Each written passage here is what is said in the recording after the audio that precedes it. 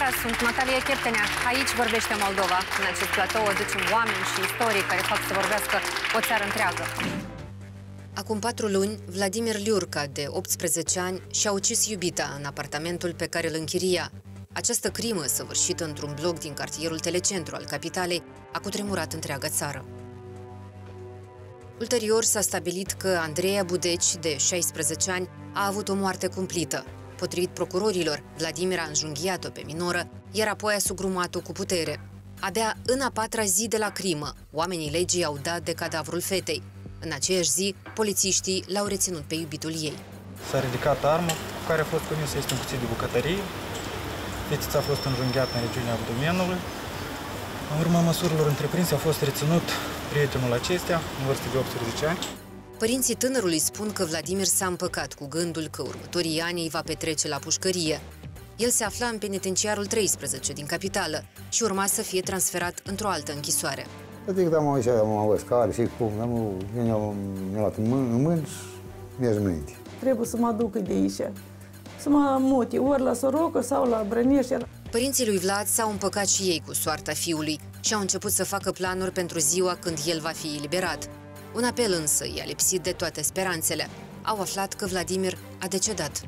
Angajații penitenciarului le-au spus că tânărul și-ar fi pus capăt zilelor. Nu știu că pare de rău sau să nu s-o ușit, să să spânzărat. De la cum asta? Tot eram în șoc. Angela Liurca, mama lui Vladimir, nu crede că fiul ei s-a sinucis. Ea e convinsă că el a fost omorât în închisoare. Nasul și ca aici, puțin ce avea numai așa tăitură. El nu s-a strangulat singur, el a fost ajutat acolo. Ce alte detalii ascunde această crimă tulburătoare? Cum s-a acomodat Vladimir la viața din pușcărie? Cine era noua iubită a băiatului? Și de ce rudele lui Vladimir nu cred că tânărul și-a pus ștreangul în gât? Vom discuta în această seară. Alexei Liurca, tatăl lui Vladimir, este convins că feciorul său nu a murit de la propria mână. El spune că, înainte de moarte, fiul său i-a destănuit detalii din ziua crimei pe care le-a ascuns de polițiști. Bărbatul a venit în platoul nostru să ne povestească ce anume a tăinuit Vladimir și cum acest fapt i-ar fi putut schimba destinul. Alexei, vă așteptăm!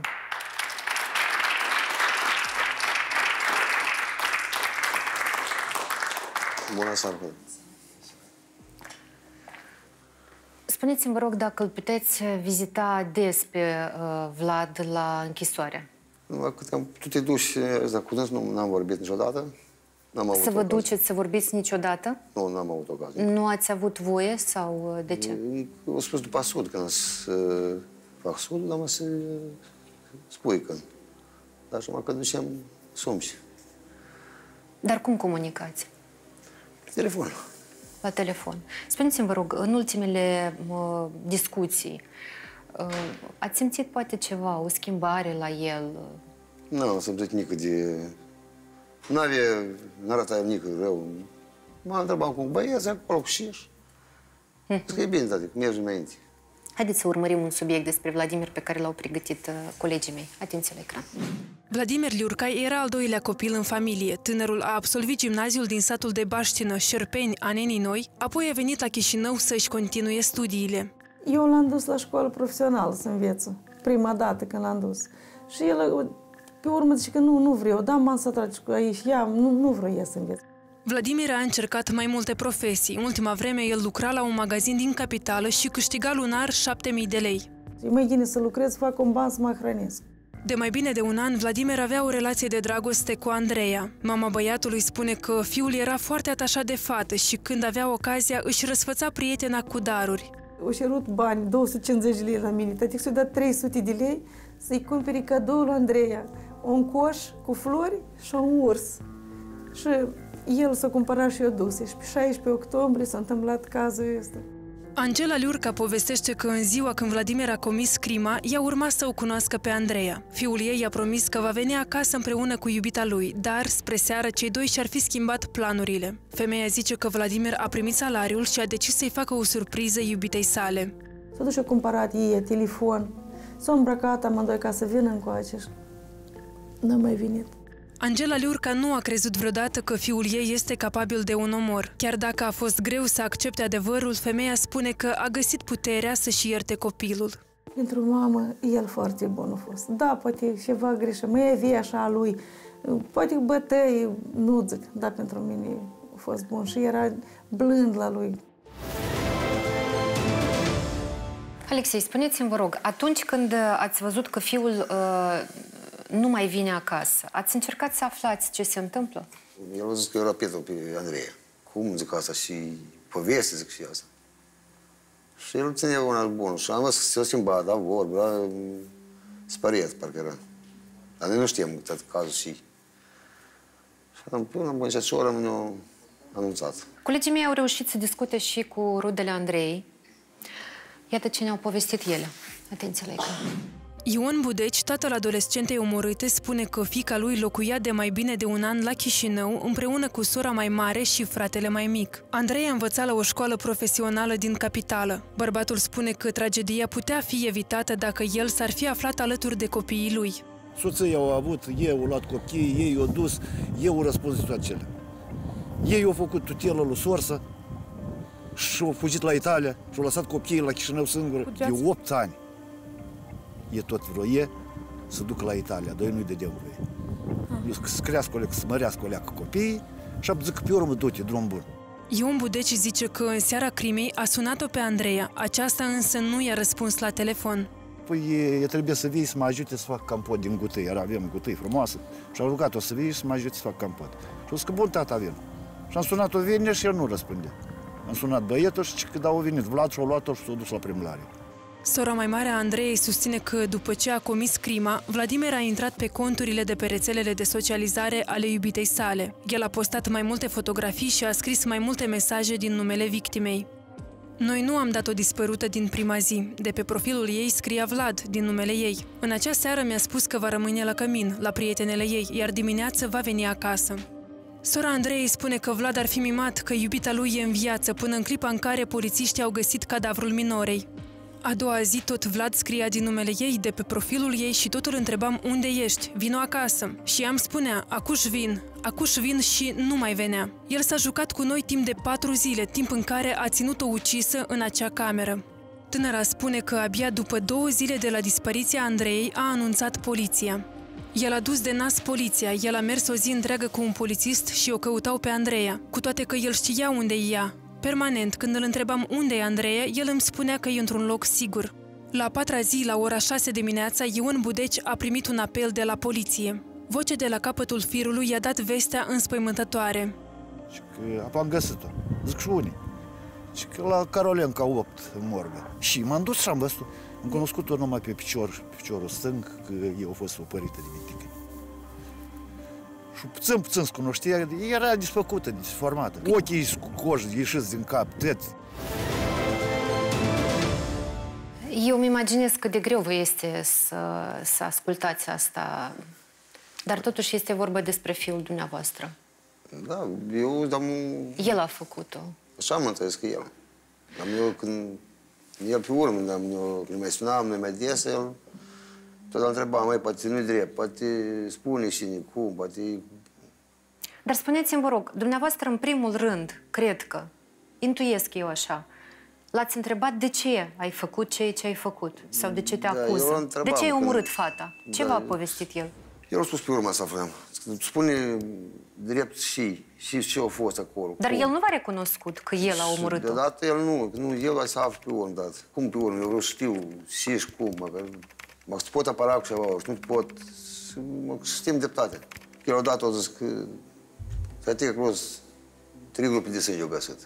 N-am avut. Bănuiesc că vorbiți despre ceea ce uh, v-a spus Eu Vladimir știu. în ultimele discuții Da. la telefon și ceea ce ar O fi să mai pe ascuns de urmă. poliție. O să mai pe urmă să aflăm mai precis toate.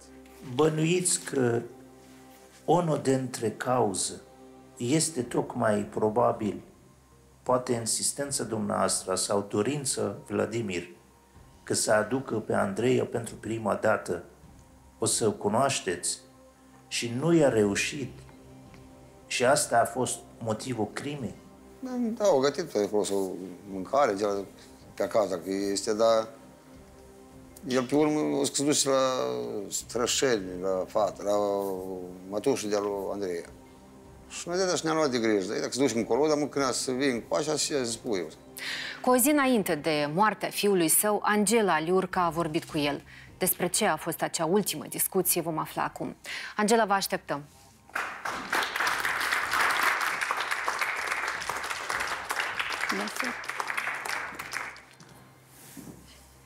În primul rând, Angela, vreau să vă întreb ce vă face să credeți că Vlad nu putea să-și pună capăt zilelor în închisoare? Pentru că eu mai în toată seara vorbeam cu dânsul. El avea WhatsApp. El și-a făcut prin prieteni telefon. Și el vorbea permanent cu mine, că acasă am frățăorul lui, tot bolnajor. Și el permanent îmi spune, mami, că ai grijă de dânsul, ai grijă de matale. Când o ieși de aici să vă văd vii, nu să mă vin la mormânt la, la matale. Așa. Și chiar pe data de nouă, eu am vorbit cu dânsul, până la orele fără 2 minute 12, pe WhatsApp. Și el nu era nici bătut, nu avea semne de moarte, să pui, cum a zis, spânzurare și o scrisie. Nu. El putea de dat să-mi spui și nu a arătat camera unde stătea. Așa. Acolo avea și plitcă electrică, avea unde făcea cafea, ceai. Deci avea condiții bune. Da, și el putea să-și pui capăt zilelor acolo. Încălțăminte avea cu șărieturi, cum a spus ei că s-a spânzurat cu un șăriet la sala acolo, oricum mi-a spus soțului. Așa ceva nu cred. El a vorbit cu mine foarte bine. Și așa să zică el că a avut de este să-și pui capăt zilelor singur. Nu cred. Ziceți că nu avea niște semne. După Nu. aia, când l-ați preluat, avea semne de violență pe corp? Când l-au adus acasă, eu eram încă în cunoștință, numai și am cunoscut, la nas, nasul era format. Pe partea stângă a gâtului avea tăietură și era încă cusut. Și la ureche, ureche era format și fața, să cunoște eu când am cu mânuțele mele, așa i-am simțit tot. Atunci eu m-am pierdut și am strigat tare. Dar așa parcă vine mă o dunguliță, că o zis că e cu șăret. Nu-i așa ceva. El nu trebuie să aibă tăietură și pe gât așa de tare. Crede. Și nasul format? Și sau... nasul, ia că eu am pus așa mănuț la dânsul, era. El îmi pare că a fost din tăi bătut, poate au avut ceva acolo. Niciodată nu ne s-a... Doamna Angela, cer scuze. Dacă e un șiret cu greutatea care se agăță un om, normal par- poate să tai gâtul. Și al doilea, dacă după asta se rup și a căzut cu cap, cu nas, Numai nu cu intra fața jos, nu? Uite, hai să, să, să uh, ne imaginăm un șiret care cu adevărat, dacă nu e atât de uh, grosime care poate susține, poate să intre în gât, dacă se agăță o greutate, avea probabil 70 de kg el, nu? Da, el era... Așa, da. Uitați, și după aia nu a rezistat șiretul și a căzut probabil cu cap, cu fața jos. Poate așa ceva? Nu poate. Dar Așa. tăietura la gât, de unde? Eu prima am simțit mănuțele când ne l-au adus în casă, m-au adus că eu eram și așa fusese ambulanța. Pe ce parte a gât era tăiat? Partea stângă. Partea stângă țin minte și acum că eu am pus mânuța pe dânsă, că așa era, tare. Dar pe partea dreaptă avea urechea, așa era, bă, ro- așa, julită, și încă fața înflată. El a fost și năsucul. Dacă eu e, marți până la orele 12 l-am văzut, n-avea nimică, dar el miercuri a stat pe site până la fără 14 minute 4, seara, cu fete, cu băieți. Și la ora 5 a spus că s-a, ter- s-a făcut cazul ăsta. Nu cred. Întâi cred că eu așa îmi imaginez ca mamă. Întâi eu fost bătut, bătaie, că dus dacă în sala sportivă afară. Așa eu spus soțului. Întâi eu fost bătaie, eu lustrăm, cred că eu făcut eu tăitură cu cuțet și avea acolo, că nu poate să fie așa adâncime mare, din șăret. Și numai puțin ce țin minte o dungă, e ca așa. Când se, se spânzură om, spânzurare, cum a scris ei, în sus se duce, dar numai nu așa, uh, drept. Angela, vreodată ați, v-ați gândit în timpul cât era el în viață că putea să fie acuzat de o crimă? Nu, Crimă o persoană cea mai apropiată? V-ați gândit vreodată la așa ceva? niciodată. Uitați, Doamna Angela, vreau să vă întreb, că în timpul aflării uh, lui Vladimir în penitenciar, discutați deseori și ați avut o relație foarte apropiată. Dacă v-a povestit vreodată că cineva îl amenință în penitenciar, că se face o influență asupra lui, poate v-a povestit ceva de genul. Eu, ca mamă, totdeauna îi dam întrebări. Vovca, mami, eu așa îl ținea, dar te rog, spune adevărul, cum te bași cu băieții? El deodată îmi spune că era cu șase băieți în cameră. Zic, mamică, eu mă împac ca la pușcărie, noi că la matale acasă, permanent așa spunea. Dar te rog să ne aduci. Dar mă spune și să-i duc, câți bani se pun pe cont, permanent îi punea, numai eu. Tăticul nici nu știe când eu îi punem, când 200, când 50, când și cum. Îl întrebam mai devreme pe soțul dumneavoastră dacă l-ați auzit pe Vlad regretând ceea ce a făcut. Da, foarte. Permanent îmi spune că regret ce și, și s-a întâmplat, ce și am făcut cu schiotariu, stimam și o iubeam, dar până la capătul, adică anilor care am să-i fac, ar să se afle și Adică cine a mai fost persoană, mai mult nu ne-a mai spus nimic, n-am mai ajuns să-l întreb. Cine ar mai fi fost? Cu dânsul acolo, cine aș mai fost, parte, cine aș fost, nu ne-a mai spus. Dar vă făcea aluzii că nu au fost ei singuri în apartament, el și Andreea? Adică Asta? că a mai fost o persoană și atât. Mai mult și el încerca să ascundă? Da, el nu-i spune, ce mamica ai să auzi mai la urmă. Dar ce, cum credeți, uh, când v-a zis asta, vi s-a destăinuit, ce motive ar fi avut el să presupunem că Andrei ar fi fost omorâtă de altcineva. Ce motive ar fi avut Vlad să, să-și ia vina asupra lui? Eu când îi dam întrebări, Vovca, mami, spune-mi, te rog, adevărul, că Dumnezeu totul n-a să te jertfească, dar el îmi spune că așa, la gelozie am făcut-o, da, eu o zis că da, și eu mai fost, încă, o luat parte încă o persoană. Și mai mult nu ne-a mai spus absolut El despre nimica. asta le-a spus polițiștilor? Nu știu. Procurorilor? Nu, îmi pare nu că știți. nu. Haideți uh, să vedem ce spun oamenii legii despre acuzațiile care i s-au adus lui uh, Vlad. Atenție la ecran.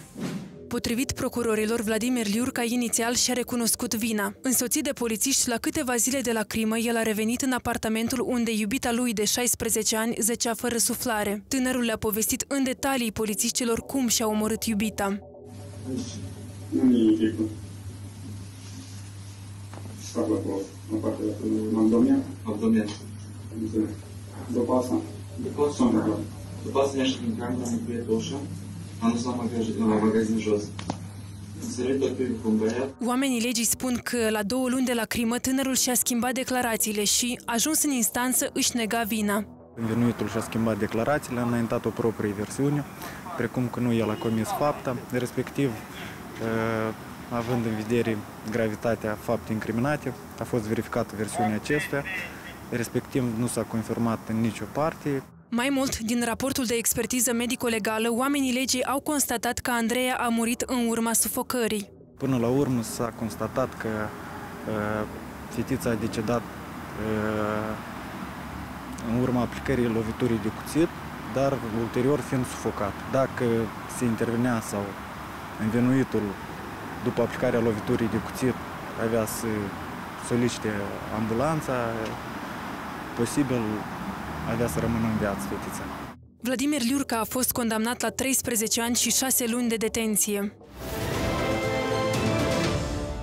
Este o versiune și uitați-vă că putea să fie și a treia persoană. Versiunea în ce constă? Că spune că s-a găsit grupa de sânge în apartamentul respectiv la trei asta persoane. Asta o spunea Om, doar Vlad. Vlad, Vlad. Deci eu, procurorii nu ne-au spus despre asta. A doilea moment vă spune precum că nu, dumneavoastră o să aflați ceva mai târziu că cineva, nu numai el a participat la această crimă. Vorbim de Andreea. Ulterior, el spune că mamă pune bani pe cont, etc., etc. Dumneavoastră nu v-a spus întrebarea pentru ce trebuie lui bani pe cont. Poate cineva, adică pe contul poate cineva îi folosește telefonul, îi folosește banii respectiv sau altceva, următoarea, dumneavoastră bănuiți ideea precum că cel care se afla la libertate ar fi pus la cale crima să-l omoare pe Vlad în penitenciar sau nu? Nu știu, eu... Nu știu, eu la așa ceva nu mă gândesc că e poate fi la libertate. Dacă el a luat asupra lui, înseamnă că e vina lui, dar el nu vrea să-mi spună, el permanent așa spune. Dar bani pe cont eu îi puneam pentru că el vorbea, avea tare mulți prieteni și pe hotare și apela la bani. Angela Alexei, și totuși, dumneavoastră ce credeți? Iată, ziceți că el nu putea să fi, să-și pună mm. capăt zilelor, dar atunci reiese că cineva da, l-ar fi omorât. Da. Bănuiți că cineva? El singur și au fost ajutat. De, de cine, cum credeți? Eu cred că poate pe acolo s-a luat la ceartă cu cineva, dar Spuneți-mi, vă rog, dar mai devreme le-ați spus colegilor mei că după moartea Andrei ați primit un apel de la cineva din rudele ei. Cine era și ce v-a zis? sora ei, Sneajana, ei atunci era, cred că acum și eu mă sunt amu, poate era că Andreea era da mormântată. Și el ne-a spus că unde pătrezește sora mea, acolo se pătrezească criminalul vostru și atât. Mai mult n-am mai văzut nimic, nici un mesaj, o șters tot, dar de la dânsa am auzit că ei, adică l-a făcut pe băiatul meu criminal, adică E vinovat, Și a da. zis că va fi acolo unde, unde, și... unde pătrezește sora ei, Andreea. Sora Așa. fetei omorâte ne-a confirmat faptul că a încercat să discute cu părinții lui Vladimir. Iată ce ne-a spus ea în mesaje. Le-am scris în ziua când am aflat că sora mea e moartă. Le-am scris că băiatul lor e un ucigaș și că le urăsc familia. Nu știu ce s-a întâmplat între ei. Nu am idee. Asta o știu doar ei și nu știu ce l-a impus pe el să facă acest lucru. Dar știu un singur lucru, că bunul Dumnezeu e cu ochii pe fiecare. El e martor la ceea ce se întâmplă între ei și l-a pedepsit cum a crezut că e mai bine. Da, prin acest mesaj care ați primit, precum că unii putrezește sora mea, va putreze și fiul dumneavoastră, Da, asta parcă dumneavoastră vă duce la gândul că putea să fie organizat acest mo- omor în penitenciar. Vlad, vă mă, spunea ce se întâmplă cu el în penitenciar. Poate avea niște mă, certuri cu cineva, se Eu îl agățase întrebam. cineva de el. Eu îl întrebam, el a zis că noi suntem ca parte bărbătească. Ieșim afară, că ieșim afară la sală, îi scot eu. Poate mai vechi ceva, dar nu mi spune chiar tot, că nu, din, de aici, din la noi, că nu trebuie să iasă absolut nimic. Și ei și pot să vorbesc cu matale, numai și ei și trebuie, dar restul, că chiar și ei și ei păță și n-am să-ți spun nimica. Dar eu Chiar cred- dacă voi păți ceva, nu o să-ți spun Da, nimica? dar eu am vorbit Dar cu de dânsul. ce? Asta înseamnă că el se temea de ceva. Niciodată nu-mi spune, nu mă, nu mă apela la bani, te rog, te, pune te rog pe cont.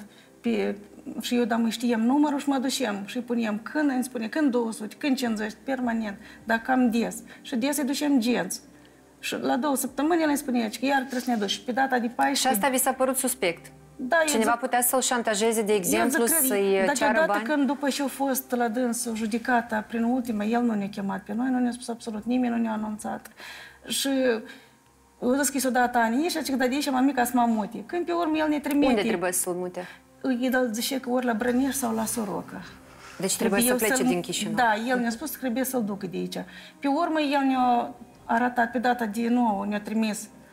Pe 1 februarie, întâi ne-a trimis uh, pozele în care camera l-a pus, erau doi băieți. Și ne Mai întâi arăta cum- ziceați că era cu nouă băieți. Deodată cu 9, 6 nouă, și a șase, trecut pe la doi. 2. Și numai că se Mă plătesc pe rugați lună câte 300 de lei. Pentru ce? Pentru Că să- comunal, să dai. Să șadă într-așa Ia cam. uite, au și încălzitor de apă. Ce spunea el? Că Ia se că simte tot bine? Bine, și-a zis că era de acord și noi să chităm. Și eu îi spuneam, cât iese pe an? 3600. Zic, mama, să lucreze și am să-ți dau. Dacă ai să rămâi și ea, că el deschide șcaful și am văd cu bie cafeaua cu mine, prin telefonic, așa. Deci nu avea pe ce să se plângă, cel puțin pe Ia că condițiile asta eu din vreau cum, penitenciar. dacă ei au spus că el s-a spânzurat, scris în, în celula lui. Uitați el și ne-a trimis prin ultimele, ia că el ne le-a trimis, nu altcineva. Și a zis că să se simte bine și să-i trimit bani. apariția lui în camera asta, asta costă, costă bani zilnice. Poate la mijloc e enigma cui de pe acești bani. Te rog, te rog să nu joci cărți acolo, că vestea e foarte mare. Dacă El joci avea cărți. patima? Și spunea lui Andrei, când ne vedem în curent,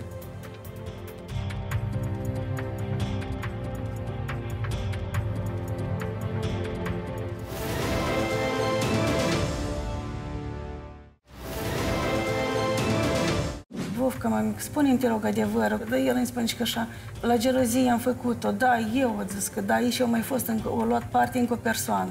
Ce vă face să credeți că Vlad nu putea să-și pună capăt zilelor în închisoare? Pe data de nou, eu am vorbit cu dânsul și el nu era nici bătut, nu avea semne de moarte, să pui, cum a zis, spânzurare și o scrisie. Nu.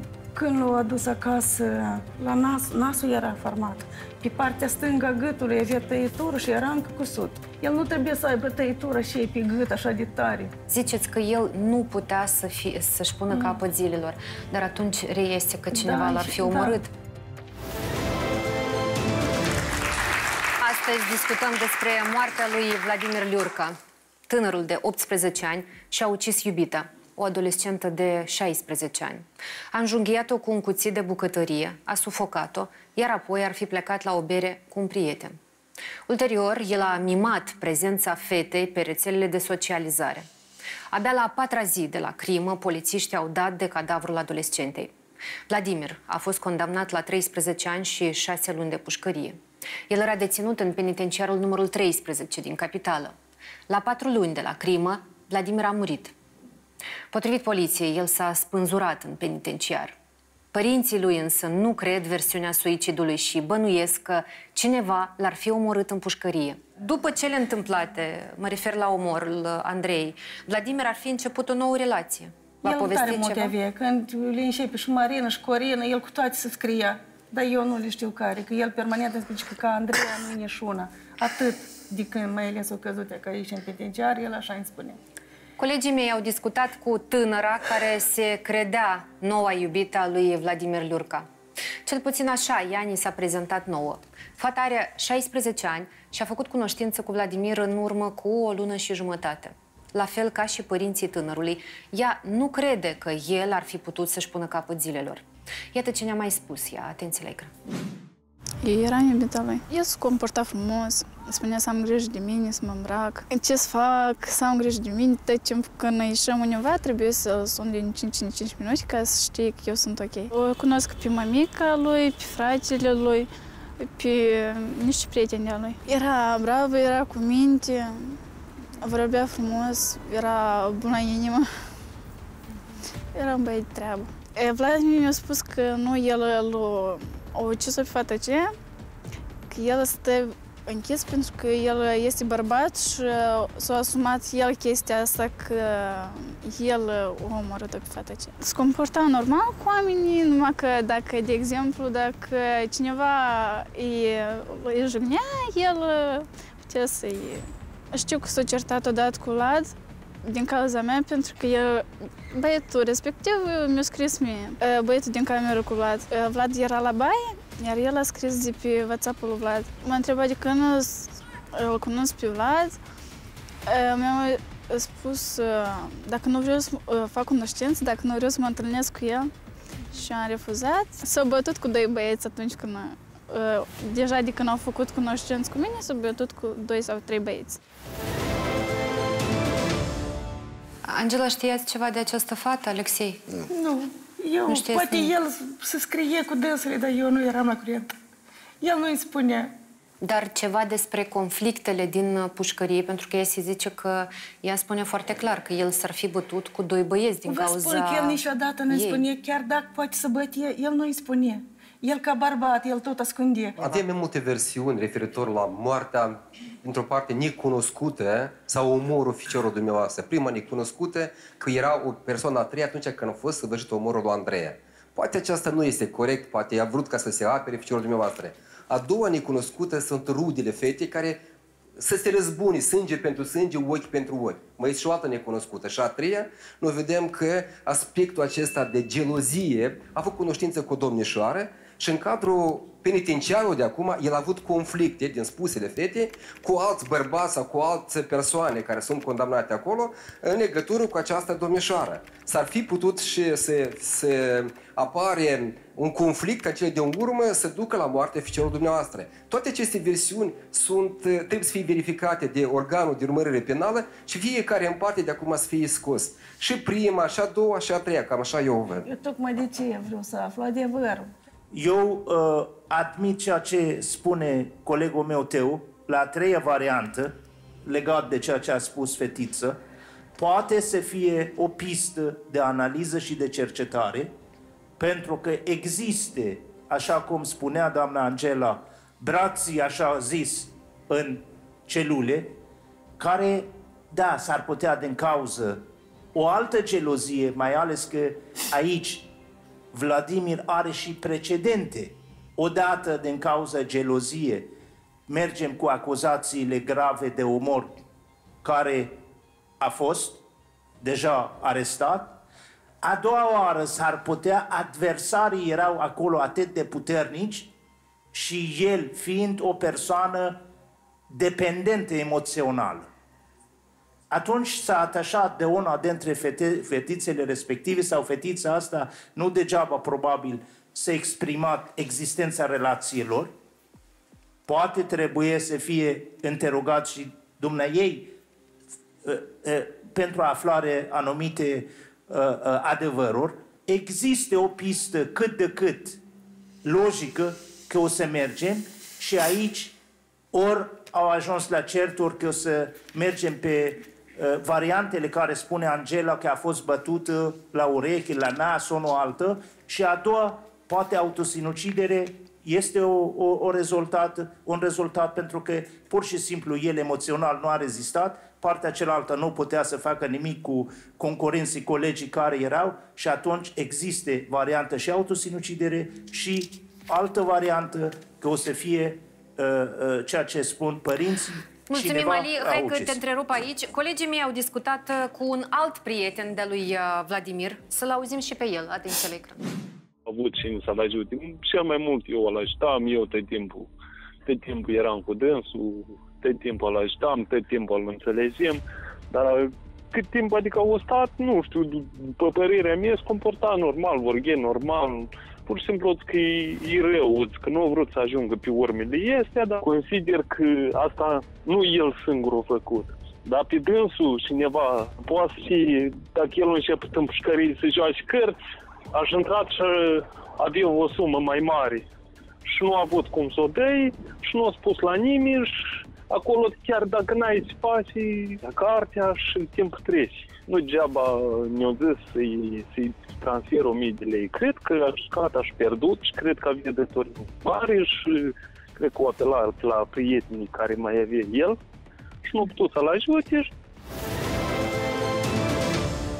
Dar despre asta, Angela, Alexei, știați? Că el joacă cărți și deja și-a făcut și datorii? Permanent vorbeam cu Alioșa, cu soțul, îi spuneam, nu te rog, te rog să nu joci cărți acolo, că ăsta e foarte mare. Dacă El avea patima? Nu, nu, nu avea, văzut. numai dacă și-l impus cumva. Da, vă spun că în ultimul timp, da, el apela la bani, dar noi nu știm pentru ce. Ba o mie dintr-o parte, ba de la rude. Eu îi puneam cât puteam. Eu mai mult nu puteam, că mie, cum se șere, nu. Penitenciarul e un local cu niște reguli a unei subculturi necunoscute, care dumneavoastră nici nu vă imaginați ce reguli sunt acolo. Apariția lui în așa celulă, nu condiții bune, este condiții privilegiate. Privilegiate, încă o dată, vă explic. Apariția lui în camera asta, asta costă. Costă bani zilnice. Nu lunare, zilnice Plus la asta, aparițiile telefonului în cameră, prin care discutați și beți cafea cu dânsul. Da, e Costă zilnic păstrarea telefonului. Eu sper că după apariția emisiunii noastre, penitenciarul se va autosesiza. Domnul are perfect dreptate. Vladimir s-a poziționat bine, s-a descurcat, s-a orientat, dacă să fiu sincer, și s-a orientat zic eu, nu rău. Dar situația este foarte și foarte enigmatică, fiindcă avem așa apucături și idei un pic de la o domnișoară care nu cred eu că poate să ne ofere informații foarte suficiente, deoarece s-au cunoscut destul de puțin. Nu cred că au avut careva relații foarte apropiate, pentru că Vladimir se relateze ceva foarte apropiat sau situația reală. Prietenul uh, Vlad, dacă nu greșesc, a lansat și el o idee, dar toată situația este foarte și foarte enigmatică. Poate la mijloc enigma cui de acești bani și pentru ce dădea acești bani. Dacă nu vom găsi răspunsul aici, s-ar putea să vedem legătura cauzală dintre banii și moartea ficiorului dumneavoastră. Eu cred că aici are ce lucra um, un organ de urmărire penale referitor la descoperirea acestei necunoscute. Vă reamintesc că astăzi discutăm despre moartea lui Vladimir Liurca, tânărul care și-a omorât iubita de 16 ani. El a fost condamnat la 13 ani și 6 luni de pușcărie și se afla la penitenciarul numărul 13 din capitală. Chiar dacă era după gratii, tânărul era activ pe rețelele de socializare, a legat o nouă relație cu o fată de 16 ani și discuta des cu părinții pe Messenger. Iar la patru luni de la săvârșirea crimei, el s-ar fi spânzurat în închisoare. Părinții lui nu cred însă versiunea suicidului și bănuiesc că el putea fi omorât în penitenciar. Psihologa Tatiana Agrici a analizat postările lui Vlad pe rețelele de socializare. Să fi dat tânărul de înțeles că nu mai vrea să trăiască? Aflăm imediat. Tatiana, te așteptăm.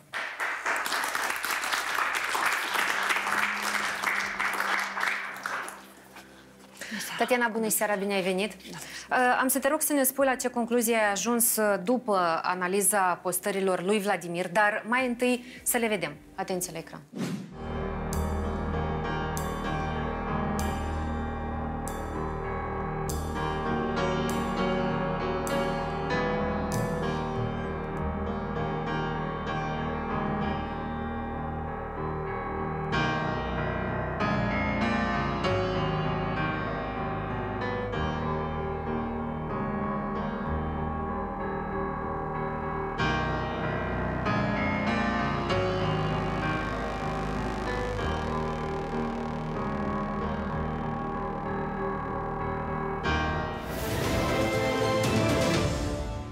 Tatiana, ți-a atras uh, atenția ceva anume în aceste postări?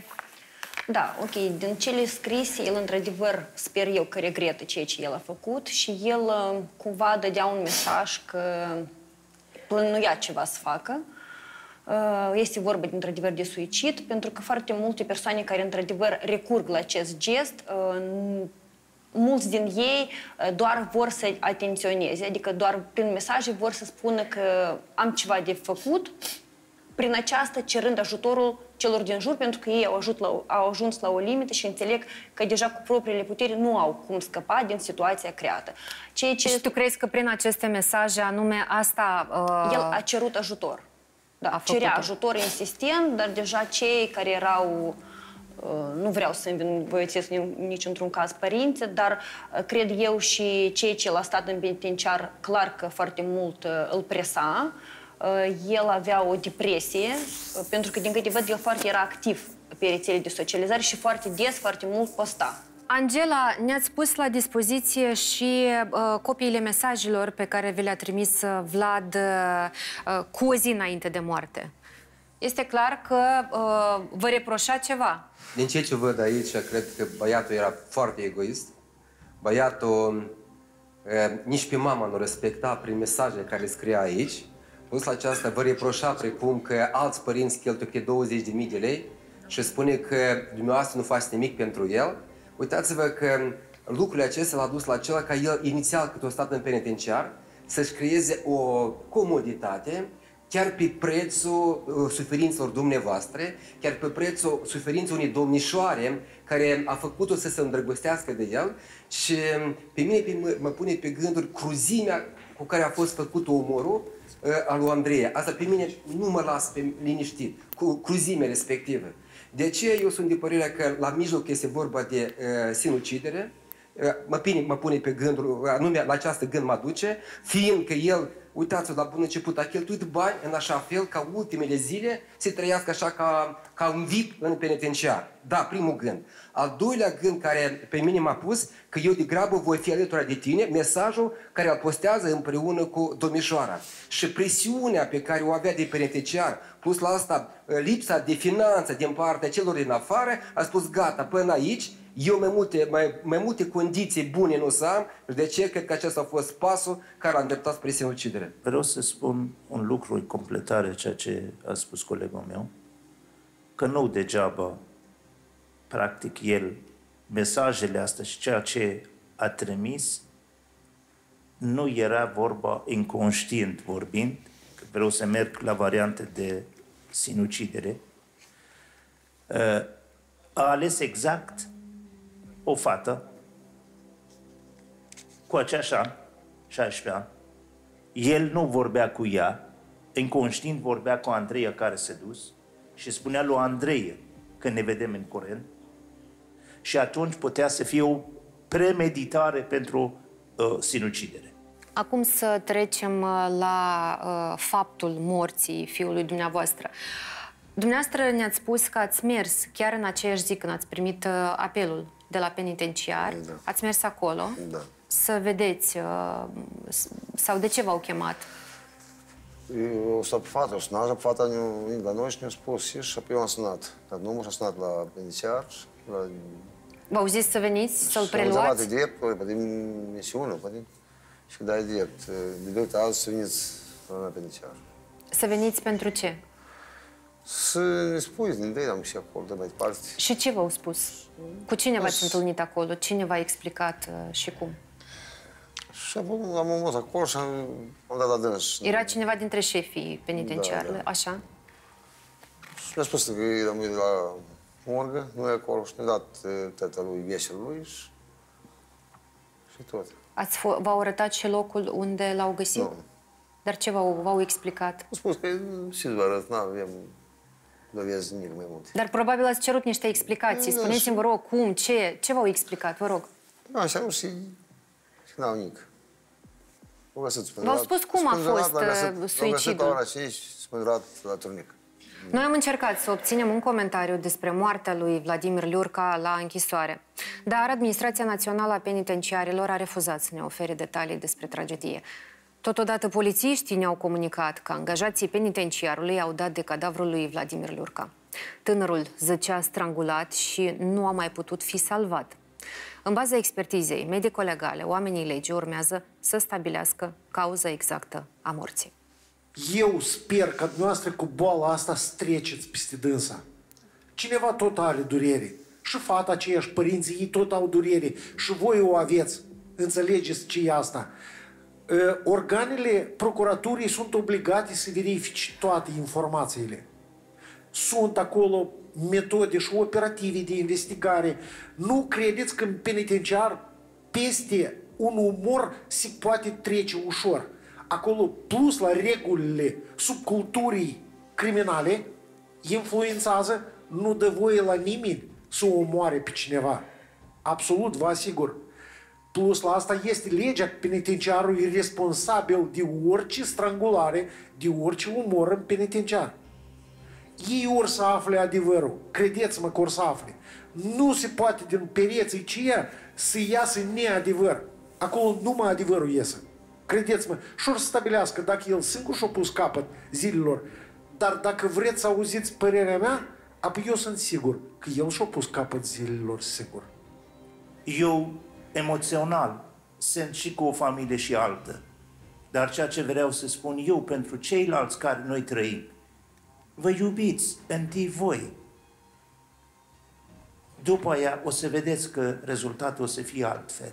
Rest, eu cred că, cum a spus și domnul Margineanu, nu avem un caz foarte, foarte probabil o reușită pentru dumneavoastră, doar că un lucru e cert, trebuie să existe niște analize pe marginea cazului respectiv, de ce se întâmplă lucrurile respective și eu aici pot să fiu sigur, așa cum domnul Margineanu s-a exprimat că este sigur de suicid, eu pot să fiu sigur că dacă sistemul penitenciar era altfel, s-ar putea, Vladimir nu mai era acolo unde este astăzi. Și dacă dumneavoastră erați altfel, toți putea să nu fie nici Ana acolo unde este. Uh, Doamna Geau, domnul Alexei, cu referire la recomandările care urmează și pași pe care urmează să întreprindeți într-o aflare adevărului celor întâmplate cu fiul dumneavoastră, uh, urmărirea penală în situația asta o să fie pornită din oficiu. Nu este necesară ca dumneavoastră să scrieți o cerere, o plângere, deci organele de urmărire penală se vor autosesiza și vor merge mai departe. Din partea dumneavoastră, posibil că ar fi trebuit poate o insistență pentru ca să-i telefonați, scrieți cereri și să verificați în permanență care este cursul urmăririi penale. Pe dumneavoastră vă înțeleg ca părinți, fiindcă nu căutați să învinovățiți pe cineva și aici chiar uh, mă bucur să văd asta, că nu căutați vinovați, căutați adevărul și sper eu acest adevăr să-l găsiți, pentru că asta vă interesează, vreți să aflați adevărul. A fost sinucis, s-a sinucis sau a fost omorât. Și cred eu că orice soluție o să o primiți și asta o să vă liniștească sufletele și sper să găsiți această liniște și sper să aflați adevărul. Andreea n-ar fi fost omorâtă cu atâta cruzime, bestialitate, dacă mama fetei era aproape de ea, nu era psihotare. Dacă nu trimitea la Chișinău să, împreună cu alți frați. Uitați-vă, dacă era părintele aproape de fiica sa, atunci noi am fi evitat o astfel de tragedie. A doilea moment sunt de acord cu domnul Mărgineanu că dacă noi ca și părinți am fi pregătit pe ficiorul pentru viața ce mare și pentru responsabilitatea pe care o porți tu, când pleci după 18 ani, atunci la fel el ar fi luat un alt comportament în relația aceasta de gelozie în raport cu prima iubită. El însă a fost influențat nu numai de părinți, nu cred. El a fost influențat de întreaga societate, inclusiv și de, de filmele pe care le-a privit anterior și a văzut această gelozie în răzbunare și umor cu atâta bestialitatea unei persoane. Uitați-vă, suferă rudele fetei lui Andreea, suferă, în primul rând, mama care stă în Italia, tata, suferă întreaga societate, cu tața 16 ani a pierdut un copil. Însă, uitați-vă după aceasta, ficiorul dumneavoastră, fiind atât de egoist, atât de gelos, atât de uh, manipulator, că și vă manipulați pe dumneavoastră. Dumneavoastră ca pe tată, dumneavoastră ca pe mamă, spunând felul următor. Tata stă acolo și își găsește de treburile lui, el nu știe cât de rău este în penitenciar. El nu s-a resemnat cu gândul că viața în penitenciar asta nu-i vip. Viața în penitenciar te resocializează, te face om. Și el și-a făcut aceste condiții, așa, știți, bune penitenciar, datorită suferințelor dumneavoastră. El pe dumneavoastră vă manipula în așa fel ca să dați pungă, să dați bani și uitați-i manipula pe toți ca să transmite bani ca el să-și facă aceste condiții. Și următoarea care colega a spus, vreți adevărul să-l aflați până la urmă. A fost ajutat să se stranguleze sau uh, el singur s-a strangulat. Din ceea ce eu am ajuns aici, eu scot ipoteza că a participat altcineva la omorul lui Andreea. Eu ajung la concluzia că, într-adevăr, el a săvârșit această crimă. A doilea moment, eu uh, scot ipoteza că rudele lui Andreea au contribuit la strangularea ficiorului dumneavoastră. Eu nu cred după aceasta. La fel eu scot ideea că cineva l-a ajutat pe pe Vladimir să se sinucidă. Deoarece toate aceste mesaje, tot acest comportament în raport cu prima fată, în raport cu a doua, în raport cu părinții, în raport cu condițiile penitenciar, el a fost un bărbat care nu a știut să precieze pe nimeni. El s-a iubit numai pe sine. Asta e. Noi vom urmări evoluția acestui caz. Aici încheiem. Liniște și pace vă doresc să aveți cu cei dragi.